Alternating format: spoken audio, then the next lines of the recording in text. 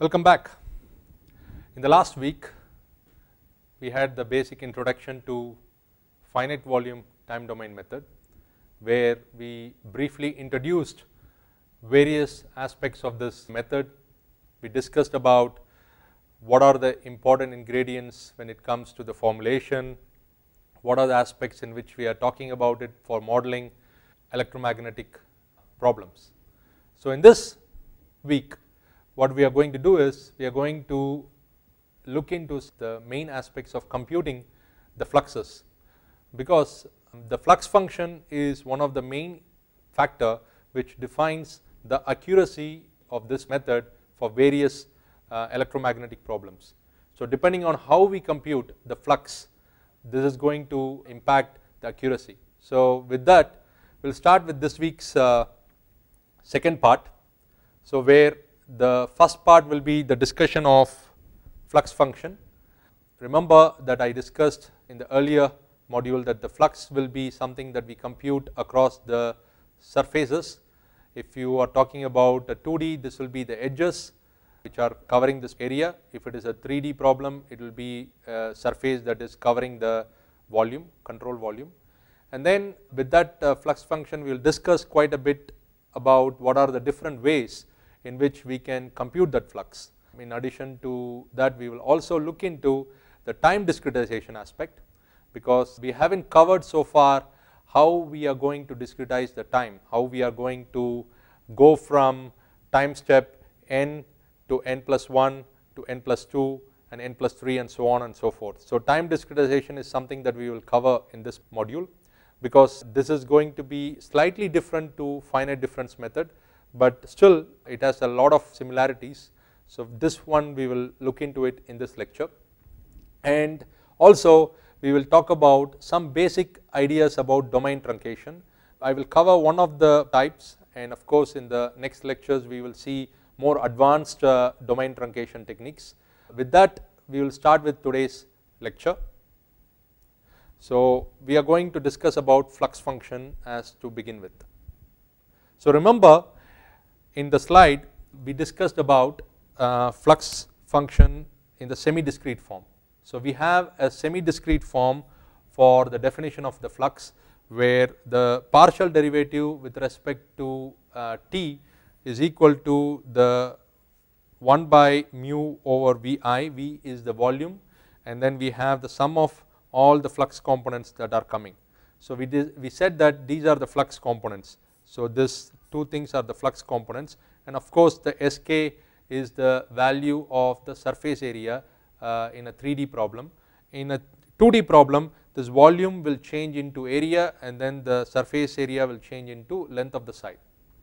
That being said the, the combined flux is something that we can write it as one vector so which is given by the value here. So this thing is the first component will be the flux that is related to the partial derivative with respect to time for the magnetic field and the second one will be with respect to the electric field. So this is straightforward. So this is the basic thing that we will be looking into and uh, we have to see how we can go uh, on to compute this one in this lecture. So I have said in the past that flux is uh, both ingoing and outgoing. So when you consider a particular problem for example you have a triangle and this is your control volume and the values are in the center and this control volume will have fluxes that are going in and out. So whatever is going out I mark it in red and there is also fluxes that are going inside. So we said that the net flux will be the uh, algebraic sum of those ingoing and outgoing flux. So this is what we have been pictorially mentioned here and uh, one way to do that is to use a scheme that is first order approximation. The first order approximation is called as Godunov scheme. Let me explain that a little bit in further. What I have is I have two triangles and these triangles are let us say the left triangle with value QL the barycentric value and the right triangle I draw it with blue color whose value barycentric value is written as QR.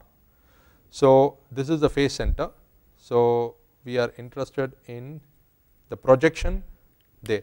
So, one easy way of doing that is we can say whatever is on the right will be the value here. So, we say q on the right will be the right value here and QL on the left will be the left value here. This approximation is very crude as you can see uh, obviously the value on the barycenter and the value on the face center will not be the same but still we can say somehow they are the same. So the consequence of this is basically what I have shown here in the in the slide. So what is happening is we can say that it is a piecewise constant we will see in the 2D how it will be in the next slide but this is a kind of a constant approximation whatever is on the left so here QL is equal to QI and QR is equal to QI plus 1 where I and I plus 1 are nothing but barycentric values on the left and right hand side and as I have uh, marked here this is of first order approximation. Another way of doing that is we call it as MUSCL scheme is monotonic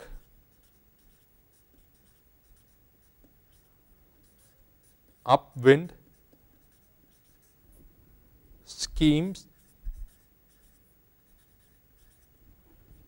for conservation law.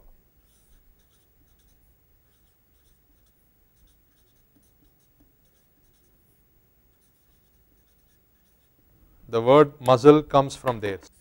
So this is a kind of a scheme that comes from computational fluid dynamics. As I mentioned to you, the idea of uh, finite volume method itself is coming from computational fluid dynamics and they have been using this for several applications in that domain. So this monotonic upwind scheme for conservation law or otherwise uh, called as MUSCL scheme is an approximation and this is a second order approximation. So we will see how it is second order. So what is happening here is whatever is on the left hand side of this interface will give you certain value but this value will not just be the value itself but the gradient. So what I mean by that is let me explain this further. So what is happening here is I have a value which is on the left hand side and I have a value which is on the right hand side and I am interested in this point which is the center of the face. So there is going to be a gradient that we are going to compute between these two points. What I mean by gradient is the slope. The, the value of the function on this one will be taking into account this particular geometrical gradient. So whatever is there, so it will say, so this there is a slope here. So based on that we can compute the gradient between this point and this point, this point and this point. So the slope will affect on the computation of whatever is going to be computed on the left and right hand side. For example, so Qi will take QL will take into account the slope between these two points and slope between these two points. So when we go in the next slides we will discuss some improvements to this particular thing but it is important to know that it is not just equating directly to the left hand side itself or right hand side itself but we are going to talk about the slope of the thing. So as you can see in the slide so this is a second order approximation and uh, when you look at it from a two dimensional point of view so what we will have is in the case of the Godunov scheme you will have piecewise constant. So the triangles will have values which are equal across all the sides based on the value at the center. So based on that each of the neighboring triangles will have different constant values. So a slight improvement to that will be the piecewise linear approximation where you will have values which will take into account the slopes. So you see that it is having a slope function within uh, each of the uh, domains and uh, each of the control volumes and uh, in 1D it will be simply a line instead of a plane. So here we, we see that both Godunov scheme and also the MUSCL scheme they are quite good for computational fluid dynamics where they have quite a lot of instability. So in a way having a dissipation what I mean by dissipation you will come to know it in the next slides. So in a way when the wave decays in its amplitude due to an inaccuracy that is coming from computation of the flux function is good for them and that works very fine when they are using computational fluid dynamics problems but in our case the solution does not go into instability naturally. So numerical solutions become unstable but uh, the physical solution itself is not like that. So what happens is having any amount of dissipation or inaccuracy that is coming from our way of computing the fluxes should be avoided. So numerical inaccuracy or uh, instability should be avoided. So as we said Godunov scheme is highly dissipative for CEM. So we do not use that for any particular application. MUSCL scheme is an improvement definitely it has certain improvement but it is still dissipative. If you if you ask somebody who is working with computational fluid dynamics they will say that well we are happy with it but uh, people with uh, with electromagnetics as I mentioned they are not happy with it so we have to see how we can improve it. So what I mean by dissipation is say let us say you have a wave that is going in x direction. So the line which is in red is actually the exact value the amplitude of the wave does not change should not change. But what happens is when you are trying to use numerical methods due to various reasons what we discussed just now the flux function computed is not accurate. So it leads to slow decay in the amplitude. This is what is called as dissipation. To be more specific we call it numerical dissipation. So that being said we are now going to discuss what are the different ways in which we can improve this. We tried few techniques. They work on a case by case basis uh, it is good to know them it is good to know when where to apply when to apply them and uh, in that sense we get an overview of various capabilities both the pros and cons of finite volume time domain method. So one of the initial schemes uh, I will look into is the centered flux scheme. So it is uh, also called as flux averaging scheme. So the centered flux scheme or flux averaging scheme depending on who you are speaking to they mean the same thing and we will see how they are done in the case of electromagnetic problem.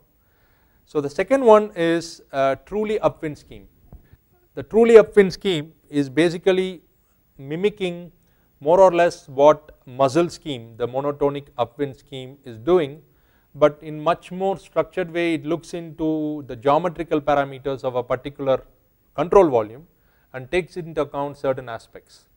And the last one is the geometrical reconstruction scheme which is a little bit more of an improvement compared to the truly upwind scheme. So a note I have to mention here is depending on whichever scheme you are using the pros and cons are one is to look into the numerical accuracy that scheme brings but also we have to pay attention to the computational cost because we do not have to need to do too much uh, computation in order to get a better approximation. So there is always a kind of a, what should I say trade off uh, compared to what kind of numerical method we use to compute the flux versus uh, how much smaller we are going to go in terms of discretization uh, and also the better approximations we can get through those new functions.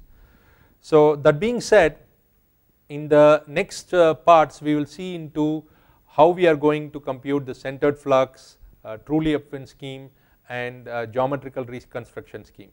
So with that I will end this module. Thank you.